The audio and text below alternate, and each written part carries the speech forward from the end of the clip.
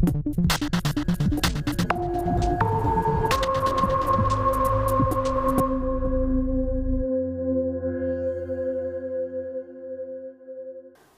benvinguts al Contrainfos d'aquesta setmana. En aquesta edició parlarem tant dels indults com de les taxes judicials que ja estan aprovades i entraran en vigor a partir del proper 1 de gener. Abans de passar a l'avenç de notícies, voldríem expressar el nostre suport a l'Alfonso, que està en presó preventiva a Madrid des de la passada vaga general. També donar el nostre suport a tota la gent que està tancada a l'Hospital de Sant Pau en defensa d'una sanitat digna. I un cop més, com cada any, donar el nostre suport també a la família de Pedro Álvarez, ja que aquest any es compliran 20 anys del seu assassinat. Passem, doncs, a l'avenç de notícies. Indults, el sistema judicial i la seva imparcialitat. La injusta llei sobre la pujada de taxes judicials entra en vigor a partir de l'1 de gener. Les jornades tanquem els CIES del 14 al 16 de desembre. Palestina, l'origen del conflicte. Mèxic, revoltes en la presa de possessió d'Enrique Peña Nieto. I a l'Observador de la Informació parlarem sobre Puig Game Over i un vídeo de Causa en la red. Comencem, doncs, parlant del sistema judicial i de la seva imparcialitat estructural. Tenim aquí la Sílvia, que ens parlarà d'indults i d'impunitat. Hola, Sílvia. Bones, Adan. Doncs sí, exactament. Com ja sabreu, fa dues setmanes es van indultar per segona vegada els quatre Mossos d'Esquadra que van torturar una persona de Romania dins de comissaria. Tot i les advertències que ha fet l'Audiència de Barcelona i, i que han estat dues vegades condemnats pels tribunals, aquests Mossos estalviaran entrar a la presó. D'aquest cas i de la resta d'indults, a part de la impunitat de que gaudeixen determinades persones en aquest estat, parlarem al pròxim vídeo.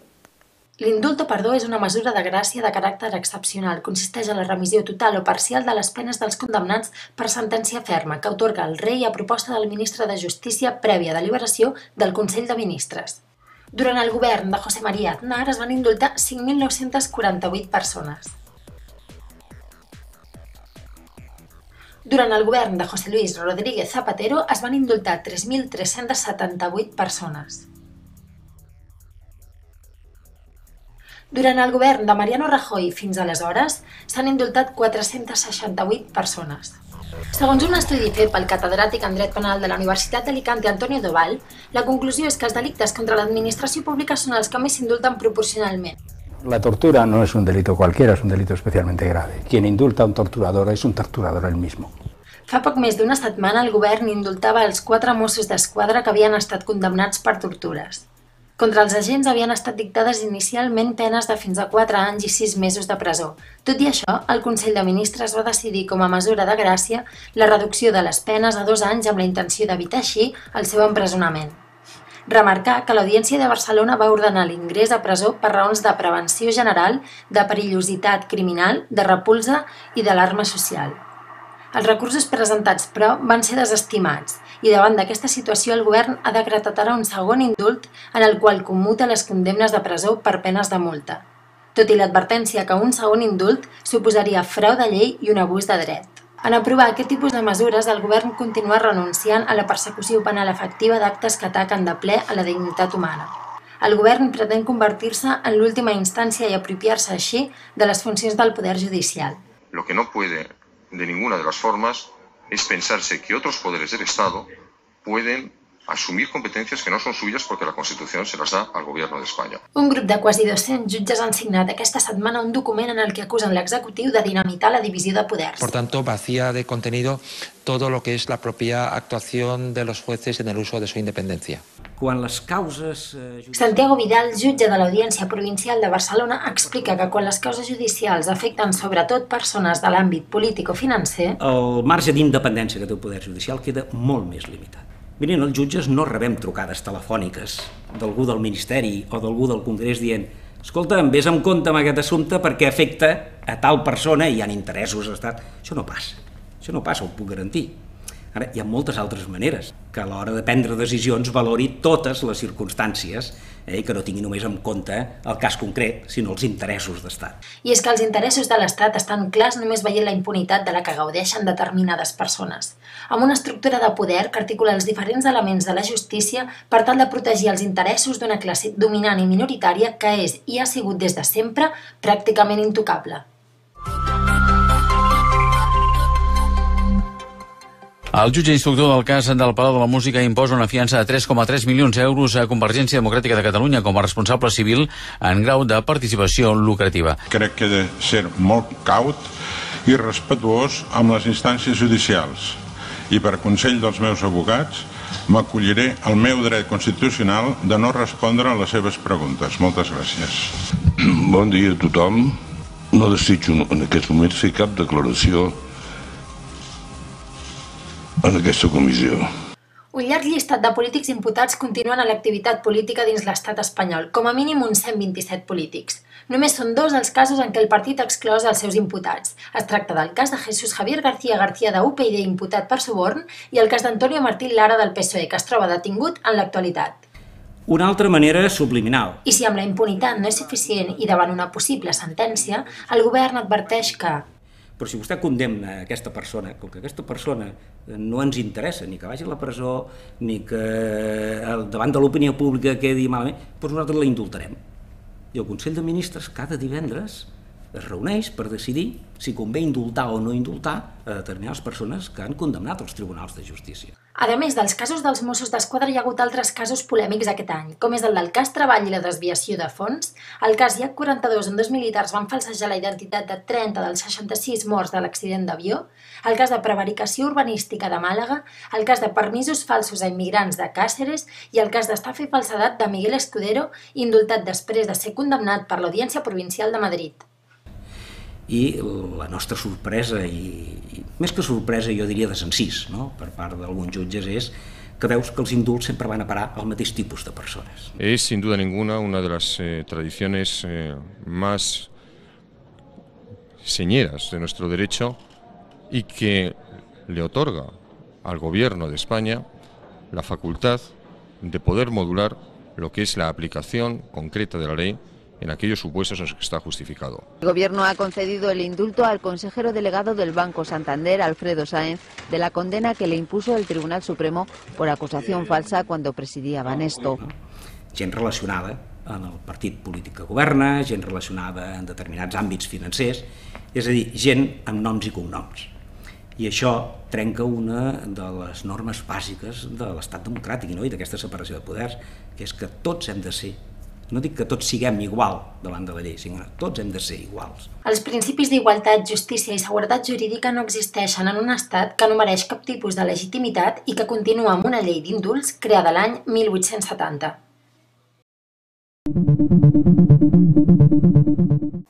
Malgrat el silenci mediàtic, a partir del proper 1 de gener entrarà en vigor la nova llei de taxes judicials, que afectarà a totes aquelles persones que vulguin obrir un procés judicial. Sens dubte una mesura que obre un abisme entre les persones segons la seva capacitat econòmica. Hem volgut sortir al carrer per veure què en sap la gent i què en pensa al respecte. A continuació veieu el vídeo.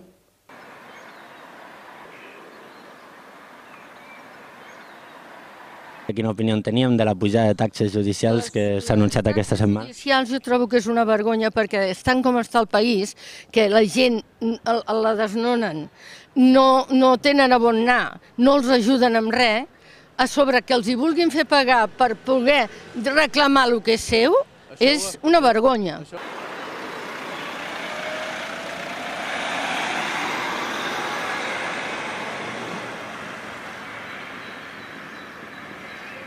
O sea, tú te encuentras con un altercado y es una pena porque dices, ¿qué haces? O sea, te encuentras que desamparado totalmente, porque dices, eh, tengo que recurrir, por ejemplo, esto de lo de las multas que dices, ostras, me han puesto una multa que no me la merezco, quiero recurrir, o sea, re resulta que tengo que pagar para poder, es que vamos. Y... Lo que está haciendo este proyecto de ley que se va a aprobar es dificultar al máximo y convertir la justicia, el acceso a la justicia casi en un arcano para muchísima gente. Va a salir aplicando la tasa mínima por 1.280 euros. Ahora cualquier empresa va a poder eh, iniciar, por ejemplo, despidos contra cualquier persona y quien se quiera defender de esos despidos va a tener que pagar 500 euros como tasa. Estado de bienestar es solamente unas migajas que cuando es oportuno, cuando sirve, se dan, pero si hay que hacer recortes, se recorta todo y lo único que se deja es la tesorería, el aparato económico y eh, el aparato militar y represivo. ¿no? Entonces lo de la justicia, esto justicia burguesa es una falacia más, ¿no? otro engaño. Bueno, forma part del, del, del que ara estem vivint, que és la desmantelació una mica de l'estat de l'honestar que teníem, no? És l'euro sanitari, és pagar una mica per tot, que en certa manera poder una mica s'ha de fer, però no tant, no? Té a veure una mica amb el tema de privatitzar serveis i, i drets fonamentals de les persones, no? És a dir, que si per utilitzar la justícia, que fins ara és un dret fonamental i, de més, has de pagar taxes per poder accedir segons quins eh, procediments legals, doncs ja de per si està desfavorint els, els de sempre, no? Que són a, a la gent que té menys recursos i que, i que potser s'ho haurà de replantejar, no? Si, si ficar-se en mesures legals per, per recórrer els seus drets, no? Llavors, al final sempre acabem pagant els mateixos, no?, amb aquestes línies i, i és una mica aquest rotllo de privatitzar eh, serveis i drets fonamentals. I l'altre problema, evidentment, és els polítics, la corrupció, la mala gestió, el, el no pensar amb, amb la gent i pensar més amb, amb la seva supervivència com a polítics. Ahora ya no hay clase media. O sea, ahora los, los ricos serán más ricos y los pobres serán más pobres. O sea, de hecho, todo lo que consiguieron nuestros abuelos y tal, en cuestión de tres meses se ha perdido todo, todo. En quin país vivim? Ens enreden com volen. Y te sientes frustrada, pues dices, bueno, ¿dónde voy? ¿Dónde voy? Y dices, bueno, mira, cobramos unos sueldos, aquello que dices, bueno, vale, bien, pero si apenas nos llega para llegar a final de mes, a ver cómo narices vas a, a buscarte un abogado, pero ¿de qué? En què mundo vivimos. El que dèieu, que realment no, no, no hi estem informats, tampoc sabem clarament què és el que s'haurà de pagar, quan si s'ha si de començar a pagar al gener, doncs és, ja, hi ha un tema de desconeixement que no, no han volgut tampoc fer-se explicar molt, no? Hi ha la, hi ha la foto del, del Rajoy i la Dori i se te queda un, un, un incumplimiento más que prometiste. Sí Dice, ara no sé què fer. No sap què fer, ja. Imagina, i la pandilla sinvergüenza estan tots fets. Entre el 14 i el 16 de desembre tindrà lloc al campus Ciutadella de la Universitat Pompeu Fabra les jornades Tanquem el CIES. Veiem un vídeo sobre la convocatòria. Els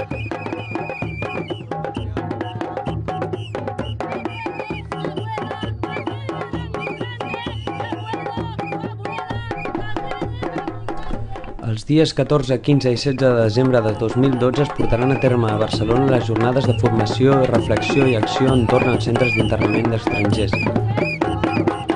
Nosotras nos dirigimos a este centro que está aquí. Este centro es ilegal, no goza de respaldo institucional ni constitucional. Es un abuso que hacen sobre otros humanos. Estamos aquí manteniendo esta cosa que no es legal.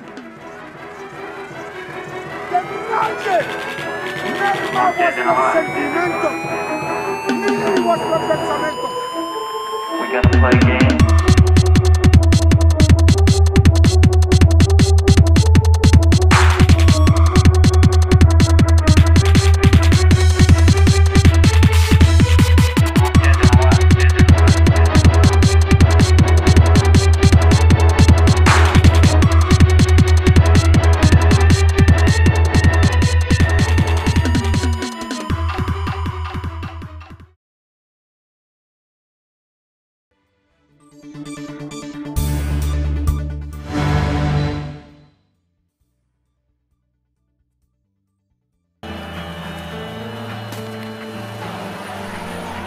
De la criminalització soferta per diferents col·lectius en defensa dels animals, com els detinguts pel suposat alliberament de bisons o el cas de Neco Pérez, els quals van ser detinguts amb mètodes aplicats en operacions antiterroristes, en aquest sentit, el passat 6 i 7 de desembre es celebrava a Madrid el Congrés contra la Repressió.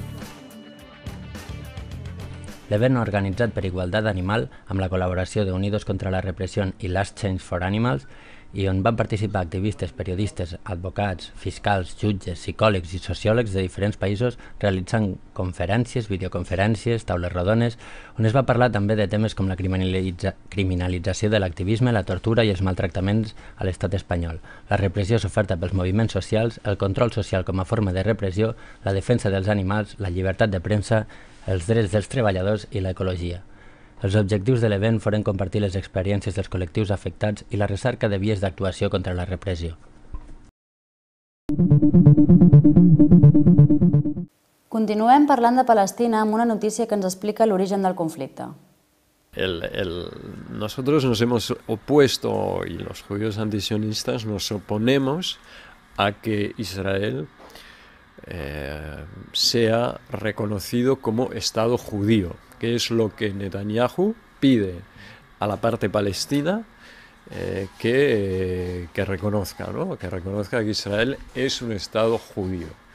Claro que no dice un Estado exclusivamente judío, pero realmente eh, es, un corolario, o sea, es, esa es la idea, ¿no? que Israel sea un Estado donde, digamos, el, eh, la población judía no solo sea mayoritaria eh, numéricamente, sino que tenga prerrogativas, privilegios, eh, que, es, que, es, el caso ahora, privilegios de tipo político, económico y social, que ya, ya es el caso, ya es una realidad.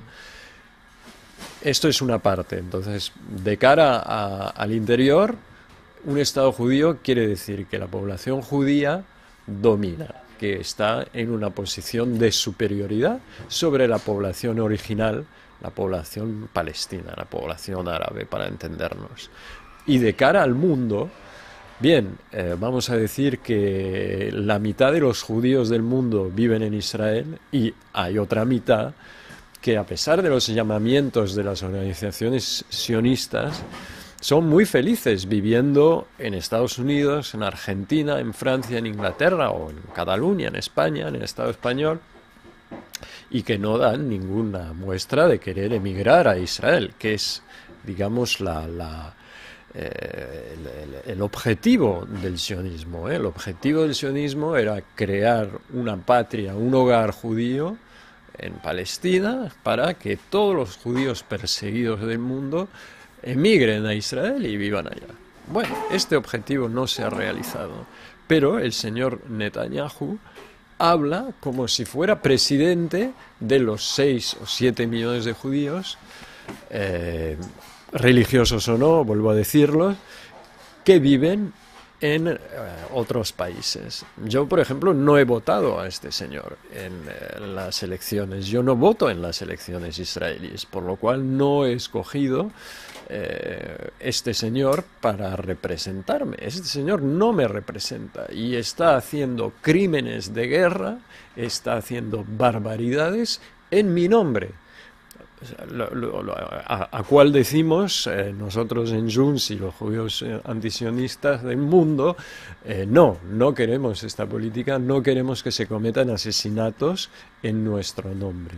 Pero claro, él busca tener una legitimidad no solo de su población digamos, israelí que le vota en las elecciones, sino también la legitimidad que le otorgarían otros 6 millones de personas, 7 millones de personas que viven en el mundo.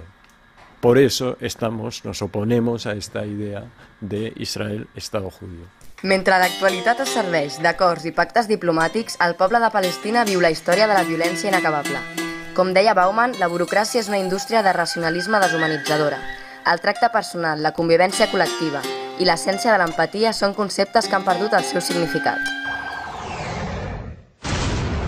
Els pobles jueu i àrab són els únics que reben les conseqüències de les demandes d'un govern israelià. Han fet creure al poble jueu que són els únics propietaris d'unes terres, la Terra Santa, segons ells. No colaboréis con ese Estado mientras no eh, aplique la legalidad internacional. La Terra Santa, segons ells. El conflicte àrab i jueu va molt més enllà d'un problema religiós que ja fa temps que ha perdut la seva essència.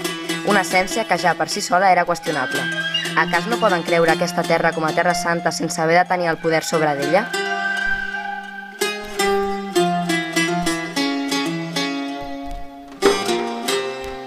Però a més a més li hem de sumar els interessos polítics i econòmics que això comporta. Que la classe política hagi pogut legitimar al seu poble aquesta controvèrsia i que cap altre país persegueixi aquest fet. Ens reafirma altre cop la poca validesa que té aquesta classe. Aquest passat 29 de novembre es va acceptar Palestina com a estat observador de la ONU. Només una setmana més tard, Israel va respondre amb dues accions que haurien d'anar en contra de les bases de la ONU i la dignitat humana, però que per contra ningú fa res. Una campaña internacional que llama desde, desde la población, desde la sociedad civil palestina, perdón, al boicot de Israel, boicot, desinversión y sanciones del Estado de Israel. Es una estrategia no violenta que permite a eh, los ciudadanos del Estado español y del mundo entero expresar su desacuerdo con la política de apartheid de Israel y decir al Estado de Israel no queremos colaborar, no mm, queremos que se reconozca esta política como una normalidad, ¿no? Entonces es una manera de presionar al Estado de Israel. Israel ha anunciat la construcció de 3.000 noves vivendes jueves en territori palestí i també ha manifestat la retenció de 93 milions d'euros que no arribaran en mans de Palestina, quan ho hauria de ser. Israel ha incumplido todas las resoluciones de, de la ONU. Mentre Israel està prenent aquestes decisions, la resta de països no fa res més que mirar-s'ho des de les televisions i reunir-se per prendre decisions de poca transcendència. Goza de impunidad a nivell internacional. Doncs portem masses anys no veient cap tipus de represàlia cap a Israel. Però el poble de Palestina no està sol, ja que els habitants de moltes altres ciutats fan concentracions en contra d'aquesta problemàtica. Hem de tenir en compte que hi ha molts altres col·lectius que treballen en defensa del poble palestí.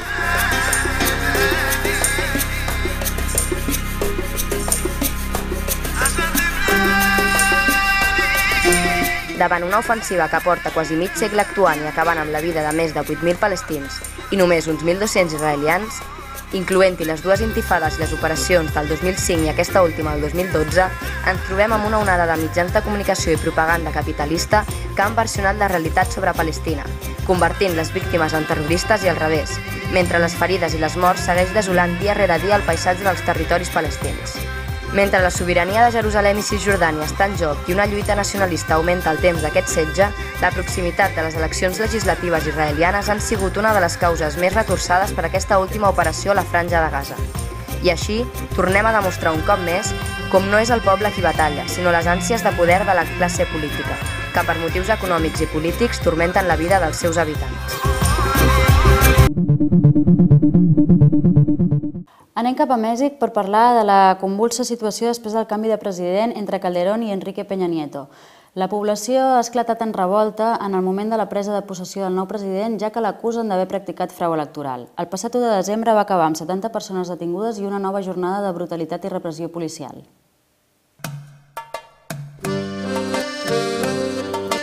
El passat 1 de desembre es va produir a Mèxic una gran mobilització sota el lema Ocupa San Lázaro, amb motiu de l'arribada a la presidència d'Enrique Peña Nieto. Joves del moviment Yo Soy 132, així com moltes altres organitzacions socials, van fer una convocatòria a diverses accions per tal de denunciar la falta de legitimitat del nou president, que consideren ha estat imposat pel monopoli mediàtic i que ha arribat al poder mitjançant unes eleccions fraudulentes. A primera hora del matí va caure la primera valla de seguretat que envoltava San Lázaro, a partir d'aquest moment començà una autèntica batalla campal entre els manifestants i els cossos repressors de l'Estat. La policia va reprimir amb gasos lacrimògens, gas pimienta, bales de goma i aigua a pressió. La jornada va ser molt tensa. Es van anunciar un parell de morts que, posteriorment, van ser desmentits. No obstant, entre les centenars de ferides hi ha tres d'extrema gravetat.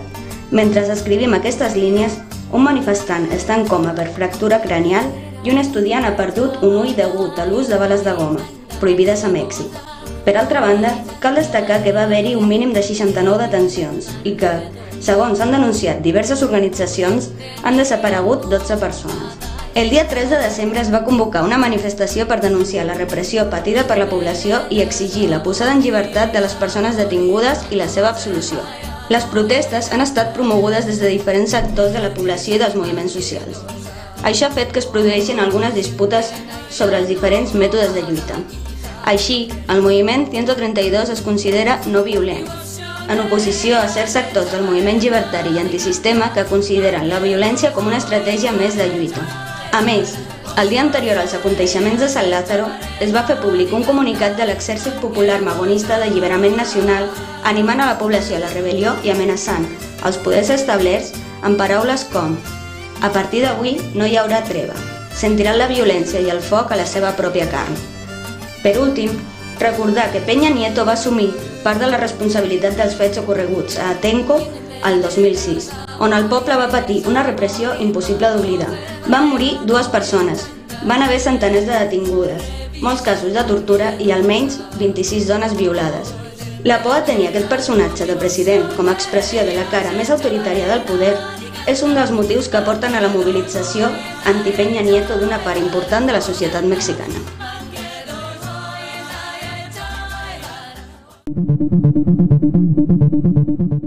Passem ara a l'Observador de la Informació.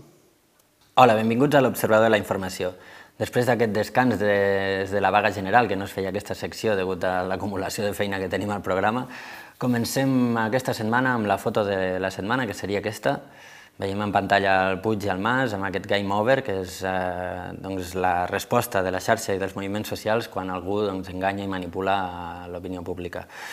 Eh, I és que la tesi exculpatòria del conseller d'Interior perd encara més força quan es filtra que el passat 21 de novembre arribava a les seves mans un document eh, escrit per alts càrrecs dels Mossos d'Esquadra que demostrava i indicava quins projectils s'havien disparat eh, durant la vaga general. Aquest fet demostra que el senyor conseller mentia deliberadament el passat 3 de desembre al Parlament de Catalunya davant de la Diputació Permanent. Gràcies també al setmanari La Directa hem pogut saber que sobre el que es basa el senyor Puig per dir que no s'havien disparat projectils és que a l'armeria de l'edifici Egra de Sabadell, eh, base operativa dels antiavalots, van entrar a mitjanit el mateix número de bales de goma i projectils que havien marxat pel matí.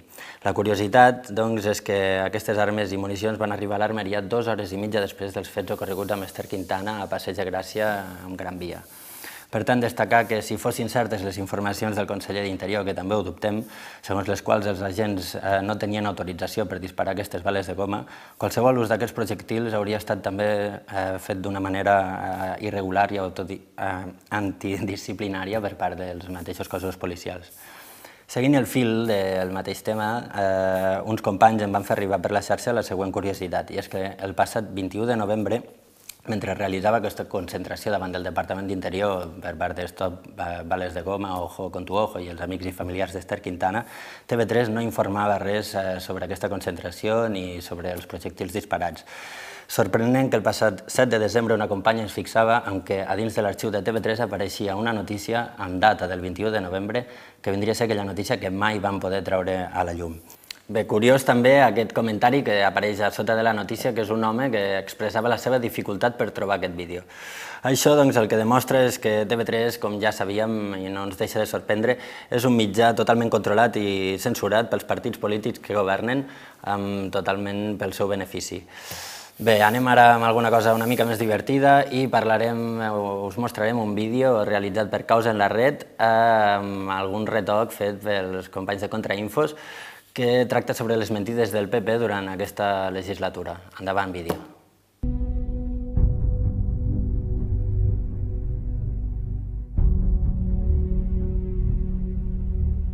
Mis primeras palabras se dirigen a todo el pueblo español. La amplia participación en estas elecciones es la más contundente prueba de madurez democrática en estas difíciles circunstancias.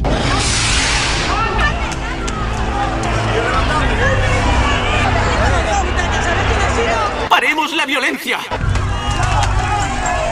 Desde este primer momento que estoy plenamente decidido a ser el presidente de todos y anteponer siempre, en toda ocasión, el interés general a cualquier interés particular. Que gobernaré al servicio de España y de los españoles. ¡Paremos la violencia! Procurando que por ninguna circunstancia nadie se sienta excluido de la tarea común. Maestro, ¿me enseñarás? Aún no estás preparado, hijo mío. Lo estoy. No lo estás. Tienes mucho que aprender. ¡Paremos la maldita violencia! Nadie tiene que sentir inquietud alguna. No habrá para mí otros enemigos que el paro. Por favor, por favor, no dispare. Le daré todo lo que quiera. Wow, wow, wow. Tome. ¿Cree que quiero dinero? Estoy buscando un empleo. el déficit, la deuda excesiva, el estancamiento económico y todo aquello que mantiene a nuestro país en estas críticas circunstancias. Ese tío es tremendo, mamá. Opino lo mismo, niños. Y haré cualquier cosa que sea necesario para sacar a España de esta situación, aunque no me guste y aunque haya dicho que no la iba a hacer. Y aunque haya dicho que no la iba a hacer. Debería coger un cáncer y morirse. ¿Usted va a subir impuestos como acordó a las 14 horas del día de ayer o no va a hacerlo como dijo a las 18 horas del día de ayer? Subir los impuestos. Van a subir los impuestos. El impuesto de la renta. Va a subir los impuestos. ¿Quieren ustedes que los ciudadanos paguen con sus impuestos? Subir los impuestos. Más impuestos. Y no subir los impuestos. Apretarse el cinto. Redactaban en secreto una subida de impuestos. ¿Y si va o no a subir los impuestos? impuestos? Nosotros seremos beligerantes contra las subidas de impuestos que haya hecho el gobierno, como ya lo hemos sido. Todas las subidas de impuestos son temporales hasta que se produce otra subida o otra rebaja de impuestos, que es lo que hace generalmente cuando gobierna el Partido Popular. Van a subir los impuestos. Digo aquí, qué barbaridad. barbaridad Ahora se suma este engaño a los trabajadores con empleo a los que se les había garantizado que no se le iban a subir los impuestos. Increíble. Nosotros no somos partidarios de abaratar el despido, somos partidarios de abaratar la contratación. En un mercado laboral que está perdiendo trabajadores, en el que se está despidiendo trabajadores, solo falta que a los empresarios se les facilite el despido. Se abarata el despido. Todos los contratos indefinidos tendrán a partir de ahora una indemnización de 33 días por año trabajado. Es basura occidental decadente e inmoral. Nosotros lo que decimos es, oiga, si usted tiene dinero negro, sáquelo. Le cobramos el 10%, pero por lo menos ya le tengo localizado como, eh, como contribuyente. Embarcado en una cruzada para reducir el déficit, el gobierno conservador español ha aprobado el mayor recorte del estado de bienestar de la democracia.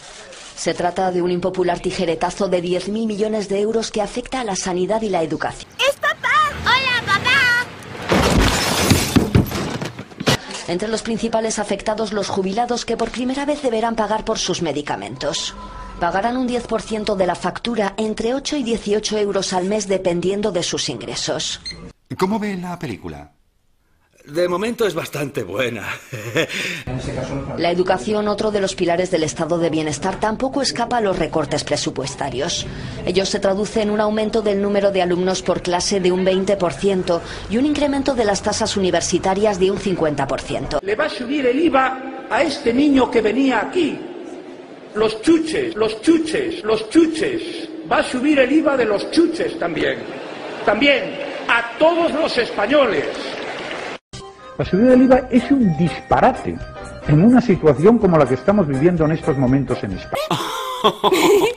Muchas gracias. Empezando por esta última pregunta.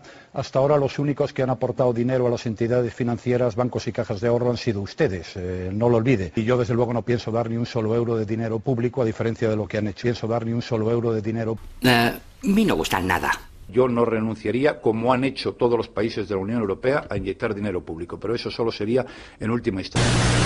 El gobierno prepara junto con el Banco de España un plan para sanear Bankia. Apuntan a que la entidad recibiría entre 5.000 y 10.000 millones de euros. Interesante. Sí, sí. Esto da que pensar. Bé, fins aquí l'observador d'aquesta setmana. Com sempre, recordar l'e-mail on us podeu fer arribar qualsevol tipus d'informació contrainfos arroba latele.cat. Moltes gràcies i fins la propera. Fins aquí el Contrainfos d'aquesta setmana. Us volem recordar que el proper 21 de desembre a Can Vies, la tele.cat organitza la Gala de la Fi del Món a la que hi esteu tots convidats. Fins la pròxima setmana.